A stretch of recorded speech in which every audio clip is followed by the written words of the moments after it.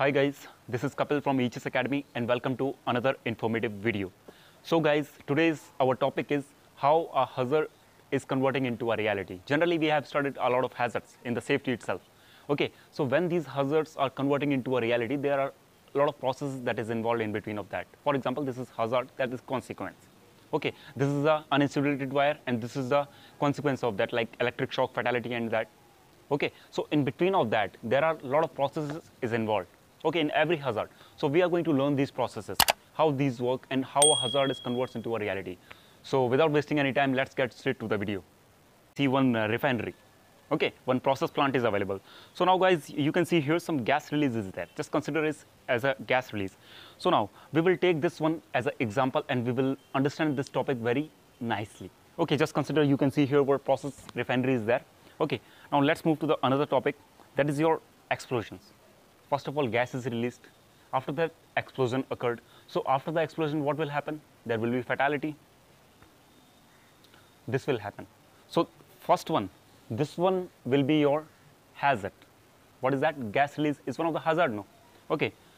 And these two will be your result. First of all, this is the transmission process and this one is your consequence. Now, apart from this destruction, there will be a lot of things like uh, loss of uh, environment, loss of human life, loss of property, and a lot of things will be there. Okay. Now, when a particular this image, this scenario is converting into this scenario, okay, when this scenario is converting from this to this, there are a lot of processes are there that we will understand now.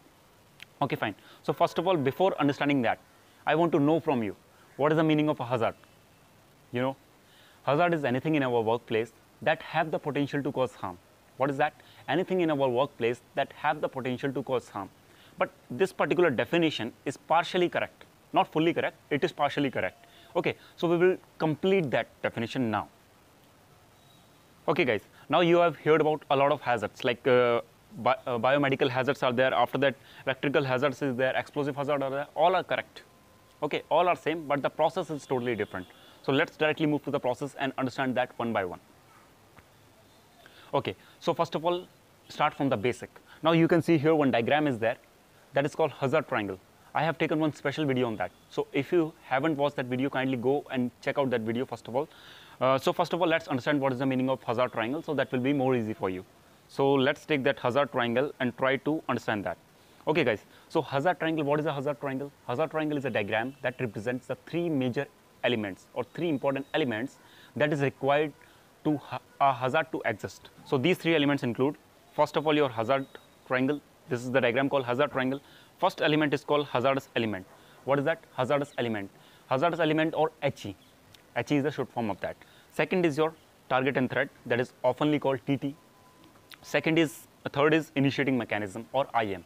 When these three elements are present in a particular configuration, then only a hazard will occur. If one of the elements you will remove from that triangle, a hazard will never occur. Okay, so that is the purpose of that. It is pretty much similar to the fire triangle. Okay, so now we have gone through these three elements. So now let's let's take one basic understanding about these particular elements. So hazardous element means anything that is hazardous. Okay, that is hazardous have the potential to cause harm. For example, in our refinery scenario, which I have showed you at the initial, inside that what is the uh, hazardous element that gas which is coming out because that gas is only giving the problem to us okay uh, second is target and threat target and threat means the, the person who is going to get affected by that for example now the local community which is residing near the plant they are going to affect so they will be called as target and threat and third is your initiating mechanism it means what are those factors that that are triggering that particular event for example now loss of mechanical integrity. It means whatever the pipelines we have, pressure vessel we have, they have very uh, low strength you can call. Okay, this is one of the initiating mechanism of that. So these are the meaning of these three elements. Now let's understand how this configuration works and how they turn into a real hazard. Okay, you understand that diagram now? Now let's move to the another image. Fine. So uh, here I have showed you one diagram. Okay, so see guys, uh, this is your hazard okay just consider it it's a molecule this one this diagram is a molecule okay so now un under that you can see these three elements in different configuration he your hazardous element im is your initiating mechanism and tt is your target and threat Okay, that is the meaning of that. Now, guys, it is not compulsory that only one HE will be there, one IM will be there, and one TT will be there. They will be multiple. Okay, but they should configure in a particular pattern. So now, just see that when a hazard is converting into a mishap. Now, mishap I will tell you afterwards. Okay. When a hazard is converting into a mishap, they should present in a particular manner. See, HE, IM, and TT. HE, IM, TT. HE, IM, TT. Okay, this is the particular configuration. Now, it will not be like that HE after that TT will be there, one IM will be there, after that again HE will be there. It is not. Okay, they should be in a particular configuration. Don't worry, I will take one other, another example of that. So you can see here, this is one of the particular pattern, particular configuration in which they should be arranged when a hazard is converting into a reality. Okay, they should be properly arranged. So when they are properly arranged, they will be called mishap. Mishap is the actualized event. Hazard is the potential event. For example, I have the potential to cause you harm. Am the hazard. But when I actually beat you and actually you got the injury, at the time it will called as mishap. So that is the basic difference in between of them. Reality will be called as mishap. On the other hand, potential event that can occur, that will be called as hazard. So I hope you got that understanding. Now let's move to the another diagram and understand this particular configuration of these three in a very easy manner. Okay. Okay. One more good example is there for you. See guys, uh, first of all take that okay these are three wheels. Okay so that particular circles which you can see here these circles these are denoting, the three elements of a hazard. For example uh, first circle is denoting the he second is im and third one is tt so they are rotating at different speeds. These three uh, wheels actually they are rotating in the different speed. Okay so now after some time after a certain period there will be one time come. Okay when these three particular patterns these three rings will come in a specified ratio. For example, these three rings are there. These particular circles will come in a this ratio. See, you can see here downwards. They are coming in a straight line. Okay, so when they are coming in a straight line, then only that hazard will cause mishap. They will convert into an actualized event. So this is one of the basic example.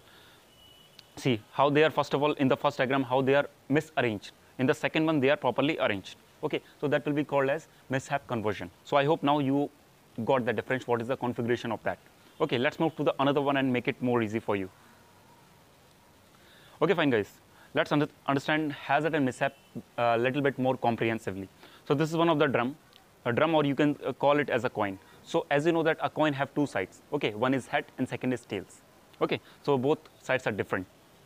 So out of that, one drum side will be called as hazard, on the other will be called as mishap. Okay, two sides are there. One side will be called as hazard, second is mishap. This coin is there. One side of the coin will be called as hazard, second side of the coin will be called as mishap. Likewise, applicable here. Okay, so now hazard I told you, hazard is not an event. Hazard is just a potential event. Okay, it can occur. It will occur. That will be called as hazard. When it occurs, actually, for example, see here, worker could be electrocuted by touching exposed contact electrical panel worker can be electrocuted. This is one of the potential event. It may occur or it may not occur, depend upon the position related positions of the these three elements, HE, IM and TT. Okay. Now, these three elements come in a proper configuration. Now, this converted into an actualized event. What they have written here, worker was electrocuted touching exposed contacts in electrical panel containing high voltage. It means it converted into a reality. What we have predicted previously it converted into a reality. Why? Because these three elements of the hazard triangle came in a proper configuration. That's why that is the reason of that. Okay. So, so now you can see here one arrow is there.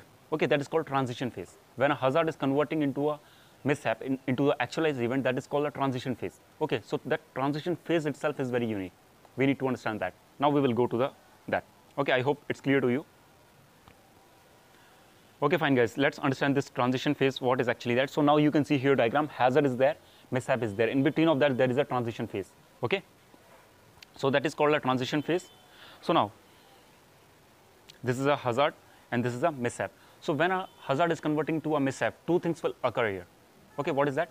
Two things will occur here, majorly two things. First is your, first thing will be your energy release. What is that? Energy release. When an expose, explosion is occurring in that previous image, what happens? Ex uh, particularly blast wave released or you can call it energy release. That's why the destruction happens now. That's why our property loss was there. Okay. Now, let's move to the another one. Here you will get more understanding. Sorry. Okay. See, energy release and point of no return. Energy release means, you know, in an explosion, there is a blast wave that is called energy release. Now, point of no return means what? point of no return means there will be one point. When a hazard is converting into a reality there will be one point. Afterwards you cannot control you cannot reverse that process. For example one leak is there. In that particular leak is ignited. Okay flammable gas leak is there. It is ignited. Now when it is ignited is it possible to control that no because it already gone into the no return phase. So that same happens here. Majorly two things happens during the transition phase this phase transition phase. Hazard to mishap transition phase. Uh, after that it takes time also. Energy buildup is there and levels of safety degraded. Generally when a hazard is converting into a mishap uh, there will be safety level degradation will be there. Okay whenever the uh, hazard is converting into a mishap, there will be whatever the safety levels are there, they will be degraded one by one because it is converting. Okay. Now, guys, uh, I told you that uh, three elements are there hazardous element, initiating mechanism, and target and threat. Apart from that, also a lot of elements exist in between of a hazard. Like for example, you can see here, see here, uh, hardware, energy, chemical, material, okay, human interface, function, environment. So this is called a HCF, hazard causal factors model. So I'm not going to discuss here because it is very much comprehensive. We will discuss that in the next class. So you can see here hazard level 1 components, hazard level 2 components, hazard le level 3 components. It is very broad term actually. Hazard itself is a very broad term. Okay. So that particular HCF hazard causal factors diagram we will discuss in the another class. So I hope you got that how a hazard is converted into that. So guys, this was the end of this video. I hope you got the understanding of the hazard. Till now, if you have any sort of doubt, you can ask me in the comment box. I'll answer you as soon as possible. As well as tell me how you like this presentation. Will you want to continue this type of presentation in the near future? Is it understandable for you? If any suggestion is there, kindly drop them in the comment box. I'll read that and answer you as soon as possible. So thank you for watching, guys. I will meet you in the next video. Till then, take care.